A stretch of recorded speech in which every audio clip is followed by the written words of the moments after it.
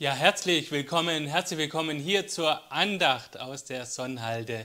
Schön, dass ihr mit dabei seid.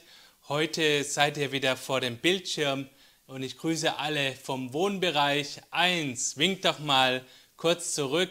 Hallo, schön, dass ihr mitmacht und auch der Wohnbereich 2, vielleicht winkt ihr auch mal. Und natürlich die Dreier will ich nicht vergessen. Habe ich jemand vergessen? Vielleicht euch, die ihr auf YouTube zuschaut und im Krankenhaus, da übertragen wir ja auch. Schön, dass wir diese Andacht miteinander feiern können, dass wir Gott einladen können und dass wir gemeinsam diese Zeit verbringen.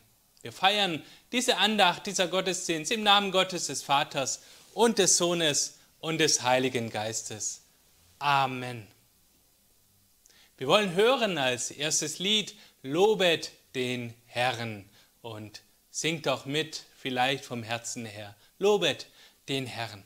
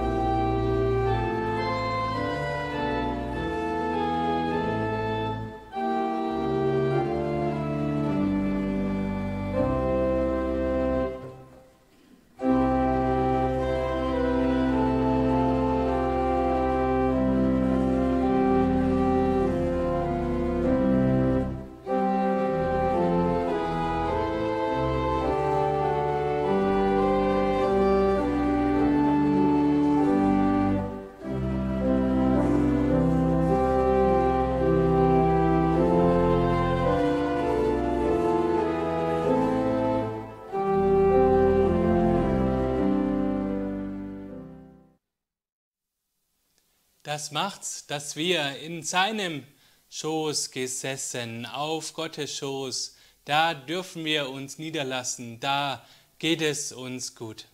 Lasst uns gemeinsam beten diesem Psalm vom guten Hirten. Der Herr ist mein Hirte, mir wird nichts mangeln. Er weidet mich auf einer grünen Aue und führet mich zum frischen Wasser.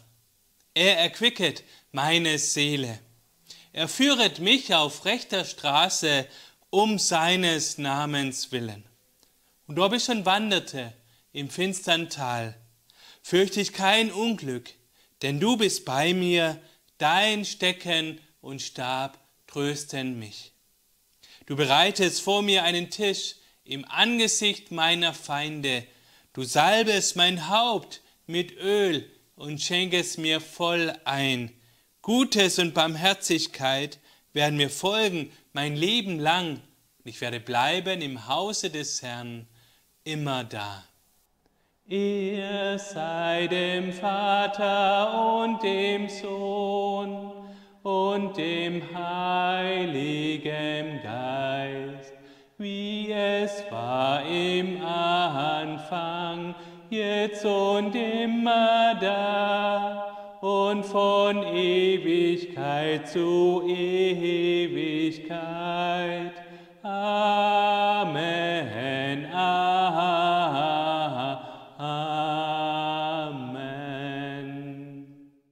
Wir beten Großer Gott, wir dürfen Platz nehmen an deiner Seite, Platz nehmen sogar auf deinem Schoß. Hab du Dank für all das Gute, das du uns schenkst. Du siehst auch die Schreckensnachrichten aus der Nähe, aus der Ferne. Wir wollen dich bitten darum, dass du unser Herz behütest, dass du uns getrost hältst bei dir. Bei dir ist die Quelle des Lebens. In deinem Lichte sehen wir das Licht. Wir beten miteinander und füreinander in der Stille.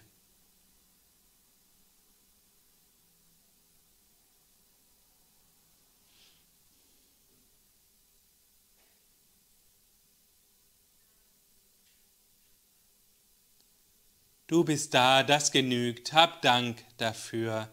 Amen. Wir wollen miteinander singen und ich lade Sie ein, auswendig zu singen, Jesu, geh voran. Jesu, geh voran. Jesu, geh voran auf der Lebensbahn und wir wollen nicht verweilen, dir getreulich nachzueilen, für uns an der Hand bis ins Vaterland. Soll's uns hart ergehen, lass uns feste stehen und auch in den schwersten Tagen niemals überlasten klagen, denn durch Trübsal hier geht der Weg zu dir. Wir wollen uns aufmachen und etwas anschauen. Und zwar haben wir ein Bild dabei, ein Bild von dem Sieger Köder. Und dieses Bild, es berichtet und bemalt und zeigt uns eine Mahlgemeinschaft, eine ganz besondere Mahlgemeinschaft. Lass uns mal hineingehen in dieses Bild, in diese Betrachtung. Südlich von Rom befindet sich in einem Landhaus in San Pastore dieses Bild von, Sida, von Sieger Köder. Dieses Landhaus gehört zum Germanicum, dem Studienkolleg der deutschsprachigen römischen Theologiestudenten. Das Bild hängt im Speisesaal, wo die Studenten der Theologie, die Priester, sich zu den Mahlzeiten versammeln. Es ist eine Abendmahlsdarstellung der ganz besonderen Art. Um den Tisch des Passamales sitzen nicht die zwölf Gefährten von Jesus in vertrauter Runde, sondern sieben Personen, ganz bunt zusammengewürfelt, die uns zunächst fremd erscheinen, drei Frauen und vier Männer. Nach Jesus, ihrem Herrn, suchen wir hier vergeblich. Der Maler sieht ihn dort gegenwärtig, wo wir, die Betrachter, uns befinden. Die Blicke der Tischgenossen sind auf ihn gerichtet, schauen diesen Jesus an und dadurch schauen sie auch uns an. Die linke lädt ein oder weist auf den Becher, die rechte hält das Brot. Es blüht auf dem Tisch etwas Zartes, Kostbares auf, ausgedrückt im Bild der Rose. Das Bild meditiert ein Kernstück der biblischen Botschaft, die Gemeinschaft Jesu mit den Sündern, mit den Außenseitern der menschlichen Gesellschaft. Allerdings, das Bild von Sieger Köder rückt diese Tischgemeinschaft aus dem Eins ins Heute, aus dem Damals ins Jetzt hinein. In die lebendige Gegenwart. Das Bild befindet sich ja dort im Speisesaal von San Pastore und oben rechts wird der kleine auf Felsen gebaute Nachbarort Gallicano sichtbar gezeigt. Wer wäre es heute, mit dem Jesus Mahl halten würde? Gibt es eine solche Tischrunde wirklich irgendwo, die uns hier gezeigt wird? Sieger Köder wählt eine Gruppe von Menschen, wie sie wohl kaum jemals wieder zusammensitzen wird, weder in der Bannmeile von Rom noch an einem anderen Ort. Aber all jenen Menschen gemeinsam ist die Suche nach dem lebendigen Du. Sie erwarten eine Antwort auf die Frage nach dem Heil und nach dem menschlichen Glück. In, dieser, in diese Gesichter hinein ist die Sehnsucht geschrieben nach einem, der sie frei macht aus inneren und äußerer Verstrickung, der sie durch das Angebot seiner Liebe hoffen lässt über die Mühsal ihrer Tage hinaus. Wer sind die Gefährten Jesu heute? Folgen wir der Runde von rechts nach links, da ist ganz rechts der Afrikaner. Der Afrikaner, einer aus der dritten Welt, mit verbundenem Arm und blutbeflecktem Kittel verwundet im Kampf um das Lebensrecht seines Stammes, vielleicht handgreiflich geworden für die Anerkennung seiner Hautfarbe, ein Habenichts, ein Überflüssiger, den keiner braucht. Er ist das Gesicht aus dem Ghettos der Schwarzen, geschunden und gequält. Da ist eine vornehme Dame aus besseren Kreisen, standes- und traditionsbewusst. Eigentlich will sie ja mit diesem Gesindel gar nichts zu tun haben, nur nicht die Hände schmutzig machen. Und weiter ein Intellektueller mit Brille und Bart, möglicherweise ein Student, vielleicht ein Linker, jedenfalls einer, der in Frage stellt, ein Zweifler und deshalb zum Ärgernis geworden ist. Dann kommt ein Clown, ein Harlekin daher, hinter der Maske verborgen Traurigkeit, Sehnsucht, ein Mensch, der im Spiel der Ironie Alltag und Realität erträglich macht. Zwischen Lachen und Weinen ein Spiegel unseres Lebens. Hier ist dann so dann eine alte, eine blinde Frau mit verhärmtem Gesicht, von Armut und Trauer gezeichnet, von schwarzem Tuch umhüllt, die Hände auf dem Tisch übereinander gelegt, vornüber gebeugt, lauschend, weil sie den Gastgeber nicht sieht, weggeholt vom Betteljob an irgendeinem viel besuchtem Heiligtum.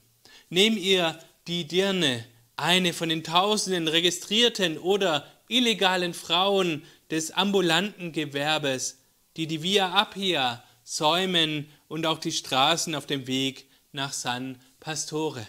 Für sie ist Liebe käuflich und auch verkäuflich. Ihr Körper ist ihr Kapital, ihr Geschäft. Ihr Leben ist ohne Heimat, ohne einen Ort, wo sie hingehört. Dann ganz links der jüdische Rabbi. Sein Gebetsschal zeigt seine Treue zum Gesetz, das Gott gegeben hat, dem er sich ausliefert, auch in tiefster Not, in Verfolgung und Hass am Rande der Verrichtung, immer noch wartend auf den Messias, den Retter der Welt, der dem Gesetzestreuen Gerechtigkeit verschafft. Sein Gesicht erinnert an die Gesichter, die man von den schrecklichen Bildern aus den Konzentrationslagern her kennt. Eine feine Gesellschaft also. Der Tischherr kann mit diesen Gästen ja keinen Staat machen. Eine seltsame Gesellschaft mit leeren Gesichtern, mit leeren Augen, Augen, die durstig sind, durstig sind nach einem Menschen, der ihnen Vertrauen schenkt, der sie annimmt, wie sie sind, der nicht fragt, wer seid ihr, wo kommt ihr her, was taugt ihr denn, Augen, die fragen, was weißt du über uns, unsere Not, unsere Verzweiflung, unsere Angst, unsere Einsamkeit. Kennst du unsere ausgebrannten Herzen?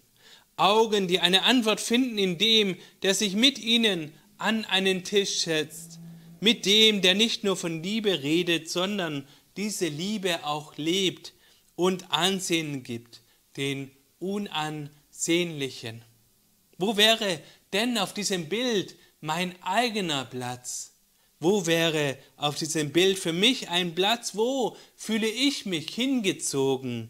Kann ich mich ein Stück weit identifizieren mit der jeweiligen Angst und der jeweiligen Not dieser Menschen? Kann ich mich angerührt fühlen von ihren Leiden und Leidenschaften, weil es die meinen sind, die sich hier siebenfach entfalten auf diesem Gemälde. Haben wir schon genug von diesem Bild? Denken wir, es handelt sich ja doch von Leuten nicht meines Schlages. Wollen wir uns lieber nicht in bessere Gesellschaft Jesus zuwenden? Aber wenn wir so denken, wenn wir so gesinnt sind, werden wir den Herrn vergeblich suchen. Als Arzt finden wir ihn nicht, finden wir ihn bei den Kranken, finden wir ihn nicht bei den Gesunden. Als Heiland finden wir ihn bei den Sündern, nicht bei den Gerechten. Solange nicht auch ich mit mich zu meinen Mängeln, zu meinen Schwächen, zu meinem Elend bekenne, solange ich meine Bedürftigkeit, meine Armut nicht wahrnehme und mich damit zu jenen Gästen auf dem Bild bekenne, habe ich keine Chance, am Tisch Jesu zu sitzen. Auch ich, ich muss mich bedürftig zeigen, muss ehrlich sein, muss sagen und rufen, Herr Jesus, hilf du mir, ich brauche dich. Der letzte Platz, der Maler geht noch einen Schritt weiter. Wie wäre es denn, wenn wir den achten Platz einnehmen würden, den Platz dessen, auf den alle Blicke gerichtet sind? Dann wären wir der Gastgeber und hätten jene Sonderlinge, jene Unbequemen, die Herausforderer und Ärgernisse an unsere Tische geholt, um ihnen das mitzuteilen, was Jesus ihnen gab und wofür auch die Rose auf dem Tisch steht.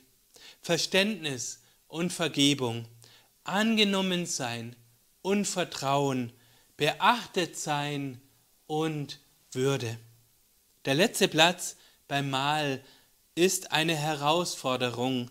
Wenn ich als Christi Bruder, als Christi Schwester mitten unter Brüdern und Schwestern sitze, dann kann ich nicht wohltätig den feudalen Bewirter spielen, gönnerisch von oben herab. Es genügt auch nicht, dass ich Kultvorsteher einer Zeremonie bin, sondern es kommt darauf an, dass ich Anteil habe und teilnehmen will, nicht nur an Brot und Wein, sondern auch am Schicksal der anderen, an ihrer Verzweiflung, ihren Sorgen, ihrem Leid, an ihrem Anspruch auf Versöhnung und auf Schutz. Anteil nehmen und teilhaben können ist aber nur dann möglich, wenn wir immer wieder auch die Grenzen durchbrechen, die Barrieren, die uns voneinander trennen. So lasst uns diese kleine Rose nochmal anschauen. Diese kleine Rose in einem der Glaskrüge, wie sie zur Essenszeit in Italien mit Wein gefüllt werden. Die Rose steht zwischen dem Herrn und dem Clown, wie eine zarte Verständigung zwischen den beiden, die an der Liebe zum Menschen leiden. Im linken Teil des Bildes, hinten, hinter der Tischgemeinschaft, erhebt sich die Saalwand. Sieger Köder hat sie mit einem Fresko ausgestattet. Es ist das Motiv des barmherzigen Vaters und des verlorenen Sohnes. Der Vater umarmt den Heimgekehrten, der sich an seine Brust wirft. In der Umarmung erfährt er Versöhnung und erlösende Befreiung aus aller Not. Daneben aber, abgewendet von der Szene der Heimkehr, sitzt der gerechte, getreue Sohn, der Bruder ohne Dreck am Stecken, ohne Fehl und Tadel, gefangen in seinem Trotz, in der Rebellion, in der Auflehnung. In dieser Gestalt findet das Bild seinen negativen Pol, der in sich selbst gefangene Mensch, der in sich selbst gefangene Mensch, der weder Versöhnung braucht, noch Versöhnung zulassen will. Leicht zu übersehen auf dem Bild, aber dennoch da, der Stein des Anstoßes, auf der Türschwelle vom Maler bewusst dargestellt, denn sein Bild will ein Stein des Anstoßes sein. Anstoß, Empörung, Ärgernis, Skandal, das war Jesu Mahlgemeinschaft mit den Sündern und das war für die Frommen ein großer Anstoß. Das darf nicht sein, das geht zu weit, das war noch nie so, wo kommen wir denn dahin? Da ist etwas gegen die Regel passiert. Das ist gegen unsere Gewohnheit. Anstoß, Ärgernis, Skandal. Jesus, er ist derjenige, der Verbindung schafft zwischen den Menschen an diesem Tisch. Jesus, er zeigt, er zeigt, es gibt einen neuen Weg, neue Wege der Versöhnung, der Verständigung, des Miteinanders. Neue Wege sind möglich. Anstoß zum Neuanfang, Anstoß zum Umdenken. Nicht mehr man handelt so, man ist so, sondern ich bin gefragt, wie gehst du mit deinem Bruder, wie gehst du mit deiner Schwester um? Welcher Maßstab gilt? Ordnung, Sitte, Anstand oder Leben, Zeichen, Liebe, Freundlichkeit? Der Stein des Anstoßes liegt auf der Türschwelle, auf dem Weg. Wer hinein will, kommt nicht daran vorbei. Wer hinaus will, kommt nicht daran vorbei. Stein des Anstoßes, auch auf meinem Weg. Wie feiern wir Christen diese Liebe Gottes? Jesus, er liebt uns von ganzem Herzen. Er liebt uns und er, er sagt zu uns, komm mit, feier du mit, so wie du bist, Du bist herzlich eingeladen. Ich will mein Leben mit dir teilen. Teile du auch dein Leben mit mir. Amen.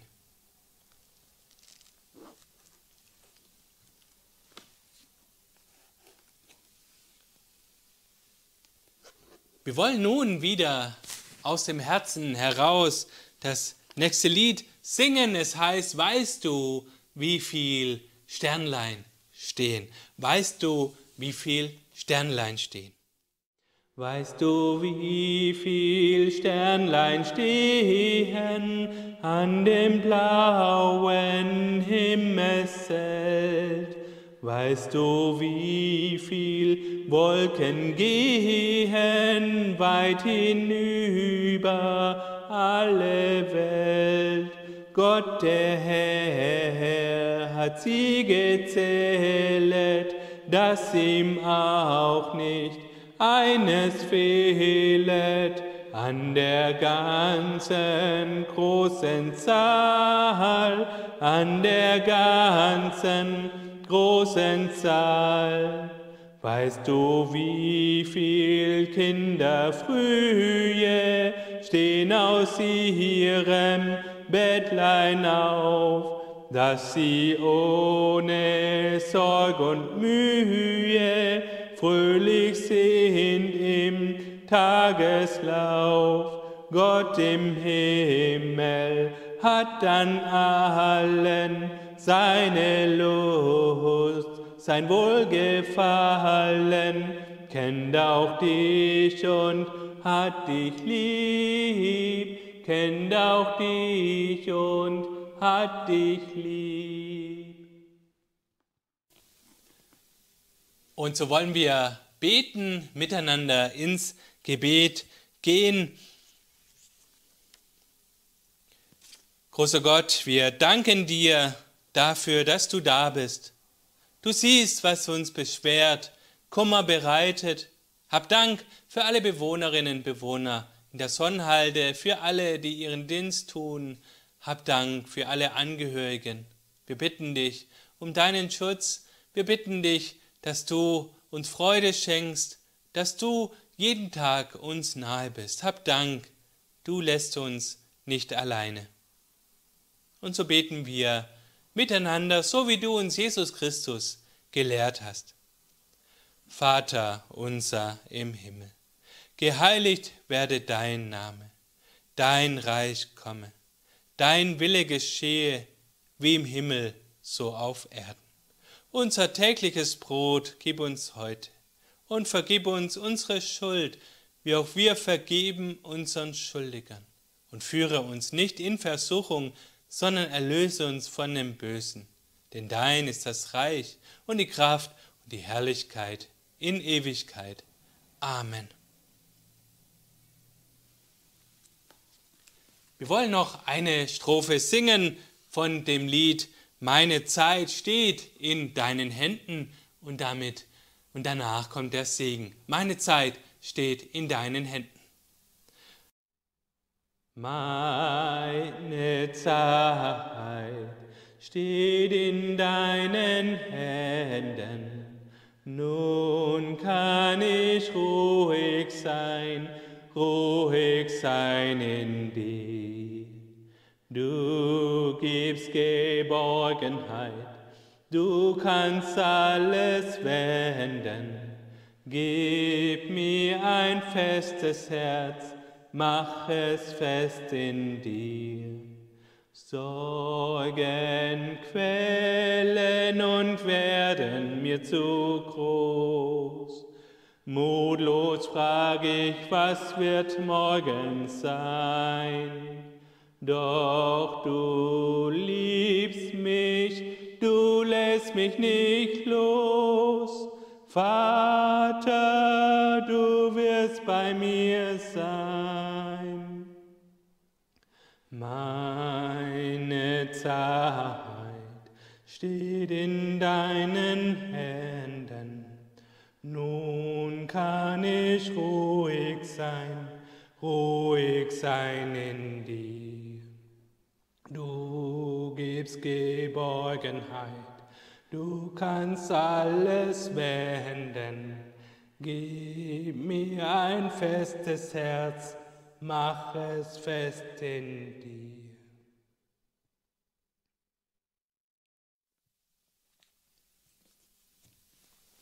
So will ich mich ganz herzlich bedanken bei euch, bei Ihnen, dass Sie eingeschaltet haben, mit dabei waren bei dieser Andacht. Wir wollen nun um den Segen Gottes bitten. Der Herr segne dich und behüte dich. Der Herr lasse sein Angesicht leuchten über dir und sei dir gnädig. Der Herr erhebe sein Angesicht über dich und schenke dir Frieden.